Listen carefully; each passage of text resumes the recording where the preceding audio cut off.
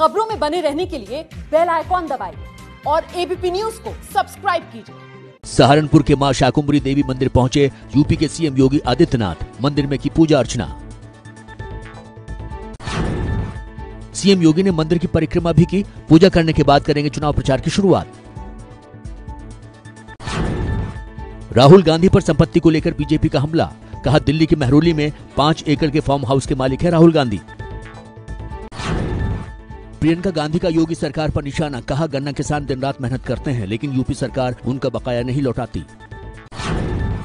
प्रियंका गांधी के वार पर सीएम योगी आदित्यनाथ का पलटवार, कहा, किसानों के तथा कथित हितैषी पहले कहाँ थे? हमने गन्ना किसानों के लंबित बकाये का भुगतान किया।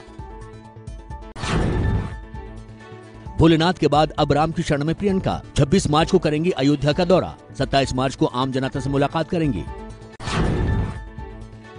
राहुल गांधी दो सीटों से लड़ेंगे लोकसभा चुनाव। अमेठी के अलावा केरल के वायनाड से भी चुनावी मैदान में उतरेंगे। कांग्रेस के एमएलसी दीपक सिंह ने राहुल गांधी के दो जगहों से चुनाव लड़ने की पुष्टि की। कहा, पूरे देश के नेता हैं राहुल। अमेठी से कई लाख वोटों से जीतेंगे।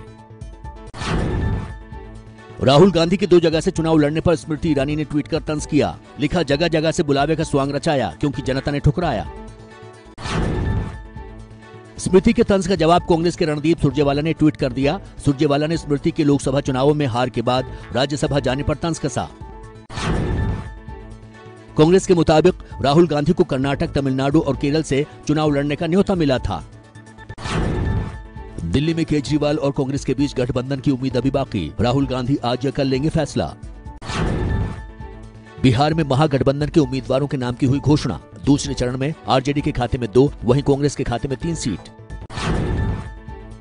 पूर्व एसपी नेता अमर सिंह का बयान, जमींदार आम जनता है और उसकी देखभाल करने वाला चौकीदार है। राहुल गांधी भी चौकीदार हैं, उन्हें अपमान नहीं करना चाहिए।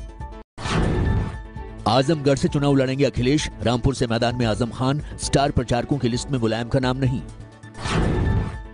यूपी में लोकसभा चुनाव के लिए बीजेपी ने तीन और उम्मीदवारों का ऐलान किया। कैराना से पूर्व सांसद हुकुम सिंह की बेटी मृगांका सिंह का टिकट कटा।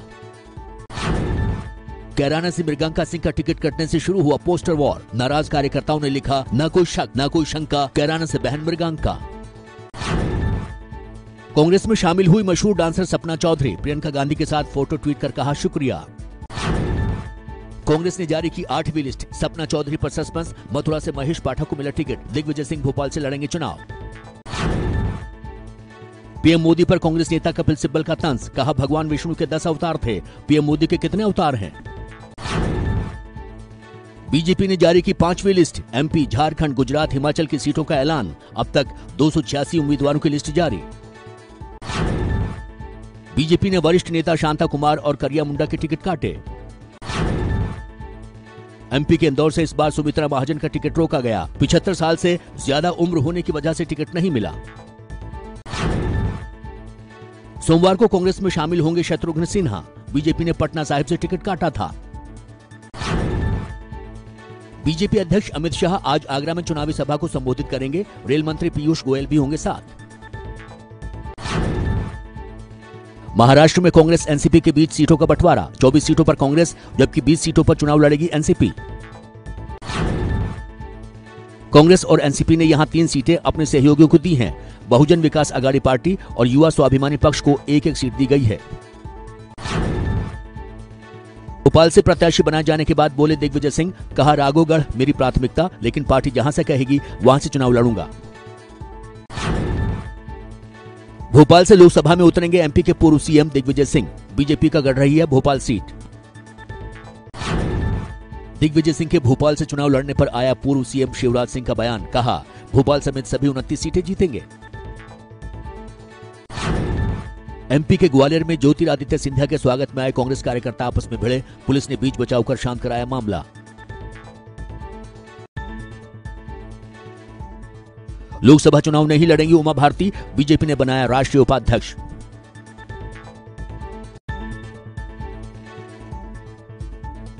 बिहार की नवादा सीट की बजाय बेगूसराय से गिरिराज सिंह को मिला है टिकट। सीट बदले जाने से नाराज़ हैं गिरिराज। वाइस एडमिरल करमबीर सिंह होंगे नौसेना के अगले प्रमुख। एडमिरल सुनील लांबा की जगह लेंगे। राजौरी के नौशेरा सेक्टर में पाकिस्तान की तरफ़ से हो रही फायरिंग में सेना का एक जवान शहीद। भारतीय सेना दे रही है हमले का मुंहतोड़ जवाब। जम्मू कश्मीर के बांदीपोरा से आई उस घर को उड़ाने की तस्वीर जिस घर में मारे गए थे आतंकी। कल बांदीपोरा और शोपिया में सुरक्षा बलों के साथ मुठभेड़ में तीन आतंकवादी मारे गए थे। कायर आतंकियों ने बंधक बनाए बच्चे को मार डाला था।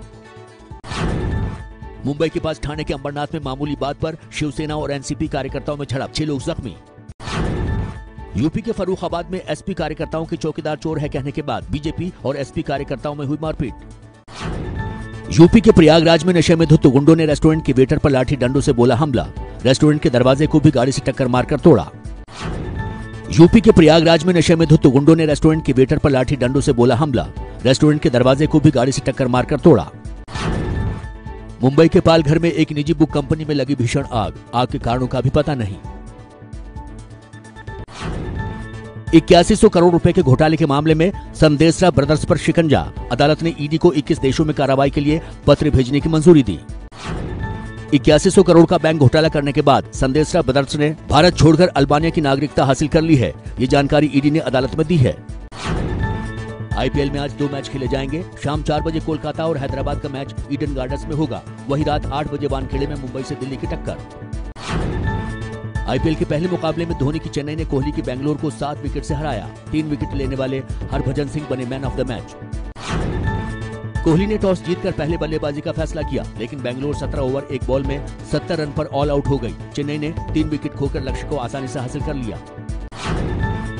धोनी की चेन्नई की शानदार गेंदबाजी रही। हरभजन सिंह और इमरान ताहिर ने तीन तीन विकेट छटके। रविंद्र जाडेजा ने दो और ब्रावो ने एक खिलाड़ी को आउट किया।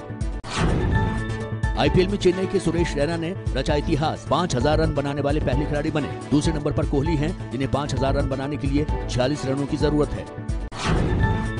बीसीसीआई ने आईपीएल के उद्घाटन समारोह में खर्च होने वाले 20 करोड़ रुपए में से इंडियन आर्मी को 11 करोड़, सीआरपीएफ को 7 करोड़, नेवी और एयरफोर्स को एक करोड़ रुपए दिए। Sultan Azlan Shah hockey cup के पहले मैच में भारत ने जापान को दो शून्य से हराया।